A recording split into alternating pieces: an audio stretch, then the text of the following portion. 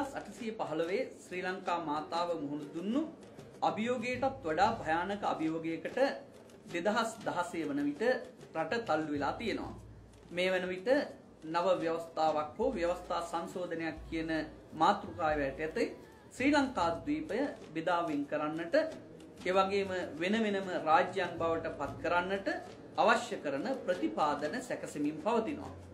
තමන්ගේ රට ආරක්ෂා කර ගැනීම සඳහා එදා ඉඳලම අපේ රටේ මහා සංඝරත්නයත් ජාති හිතයිශී ජනතාවත් කටයුතු කළා.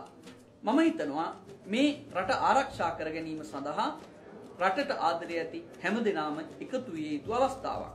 ඒ සඳහා දළදා මාලිගාව ඉදිරිපිටදී මෙම මාසේ දෙසැම්බර් මාසේ 11 වෙනිදා හවස 4ට අපි අදිෂ්ඨාන පූජාවක් සිද්ධ කරනවා මහා සංඝරත්නයේ දහස් ගණනකේ එවැගේම ජනතාව දහස් ගණනකගේ සහභාගීත්වයෙන්.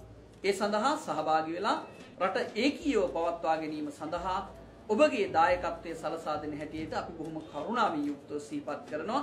විශේෂයෙන්ම මේ අවස්ථාවේදී අදිෂ්ඨාන පූජාවක් හැටියට දෙසැම්බර් 11 වෙනිදා හවස 4ට ඒ සිදු කරන මහා පූජාවට සුදු අතින් සැරසිලා අදිෂ්ඨාන පූර්වකව පැමිණෙන හැටියට ඔබට සිහිපත් කරනවා 2016 දෙසැම්බර් මාසේ 11 වෙනිදා මහනුවර දළදා වහන්සේ ඉදිරිපිටට පැමිණෙනවා ඇති කියන විශ්වාසය තියෙනවා. ඔබ හැම දිනෙටම ආරාධනා කරනවා ඒ සඳහා සහභාගී වෙලා සුදු අතින් සැරසිලා මේ අදිෂ්ඨාන පූජාවට සම්බන්ධ වෙන්න රට ඒකීයව චිරාත් කාලයක් පවත්වා ගන්නට ඔබ අපට ශක්තිය ලැබෙනවයි කියන විශ්වාසයෙන් තමයි මේ කටයුත්ත කරන්නේ. ඒට ඔබගේ සහභාගීත්ව දායකත්වය ලබා දෙන හැටියට ඉතාමත්ම කරුණාවෙන් සිහිපත් කරනවා හැම දිනකටම දළදා